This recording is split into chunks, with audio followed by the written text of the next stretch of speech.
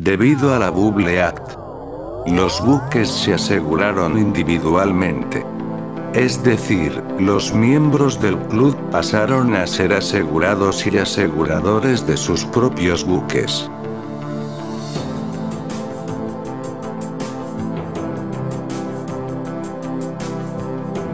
El comité de directores decidía qué buques podían ser admitidos en la asociación e incluso con qué capitanes.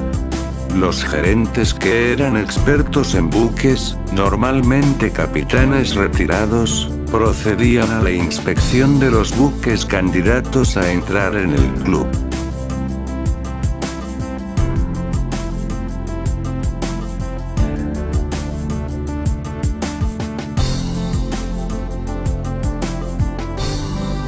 Los clubs no expiden pólizas de seguros a sus asegurados, sino que los admiten como miembros en la sociedad, adquiriendo la condición de socios de la mutua de seguros.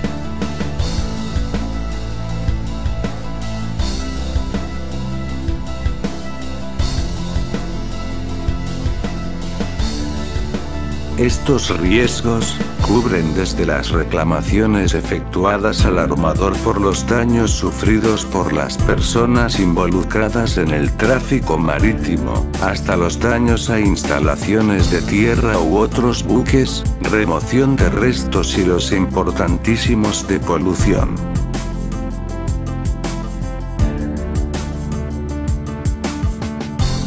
El club de PI no está asegurando el propio buque, sino al patrimonio del naviero frente a reclamaciones a terceros y la cobertura está limitada a la responsabilidad del asegurado que surja del manejo y explotación del buque.